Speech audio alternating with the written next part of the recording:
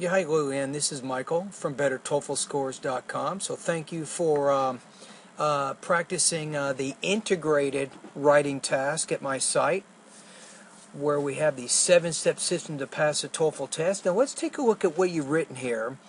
And I think that your question in the email is, is you want to know if you're organizing your writing uh, according to the uh, demands of the uh, TOEFL integrated writing task. So so far you have, it looks like you have paragraph one here, you have paragraph two here. The first paragraph, you're discussing about the important points in the reading passage, and in the second paragraph, you're discussing the important points of the lecture. I think you're missing something here. You don't have the whole picture. Now, it looks like that your reading passage, it says that uh, humans and other mammals can be altruistic. And then in the uh, second paragraph, you said the speaker, on the other hand, suggests that the guard, the meerkat guard, is not so altruistic. So I think what you're saying is, is the information in the lecture, it disagrees with the important point discussed in the reading passage. So my suggestion for you is to, to really integrate, and that's what the TOEFL integrated writing task is. It means to combine the information from the lecture and the reading you need to have an introductory paragraph that will include, I think, the two important topics from both sources.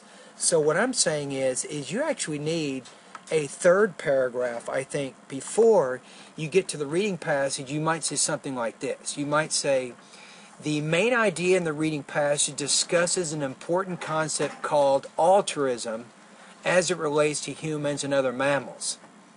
Whereas the information in the lecture disagrees with the concept of altruism, particularly as it applies to humans and other mammals.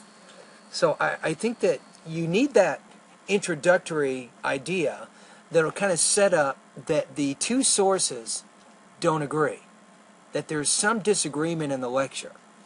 Now, I don't know the reading passage that you're using here, and I didn't hear this lecture, but assuming that you have the main point of the reading passage, you, you've included the most important supporting points, and assuming the same thing for the lecture, I think you should be able to get a pretty good score so long as you include that introductory information which precedes the two paragraphs. Now, I might modify your topic sentence in paragraph one. Instead of saying the reading passage suggests that other humans and mammals can be altruistic, you might say, first of all, the, the topic of the reading passage is altruism or something.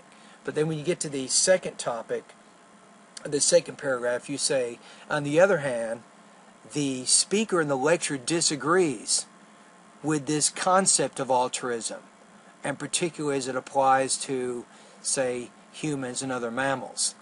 And then the rest of it's in pretty good shape. So I, I think just consider including that introductory introductory paragraph which kind of sets the purpose of the essay. And as far as I can tell it looks like you're integrating quite well the information. I think in the second paragraph you're showing how the lecture is different from the information that that was presented uh, in the reading passage and that's good. Does that make sense? In, in terms of your grammar and so on it looks pretty good. It looks like you're using the present tense to paraphrase and summarize the information, I think, which is good. And you want to make sure, again, I don't have the reading passage you're using, but make sure that you don't copy directly word for word. And that, that'll definitely give you a very, very low score on the integrated writing task. Anyway, so does that make sense? So how would you score right now? Uh, probably, I, I think overall you're probably looking at maybe a score 3.5 maybe out of 5 you're probably looking maybe 20 to 22 points out of 30 right now based on on what you have. That's assuming that you have gotten the most important points from the reading and the most important points from the lecture